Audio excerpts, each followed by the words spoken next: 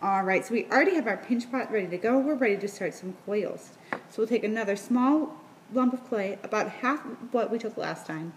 And we're going to start rolling it out into coils. The trick to rolling into coils is quite simple.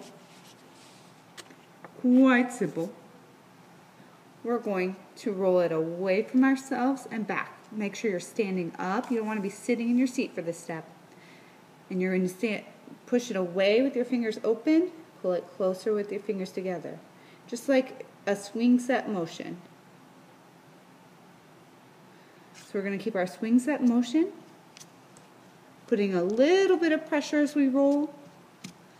And it'll get nice and round and spread out. What you don't want is it getting flat on one side or hollow in the middle. You want a nice solid snake to coil. As it gets bigger, you can use both hands.